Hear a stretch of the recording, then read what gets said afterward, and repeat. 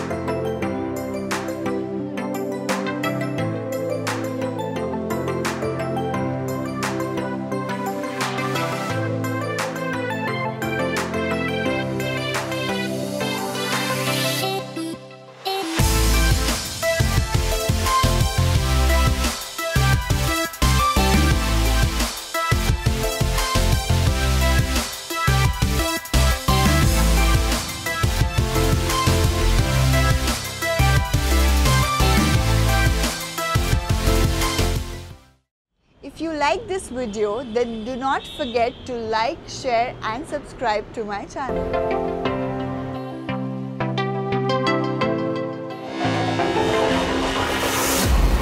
Filmy 24 FPS.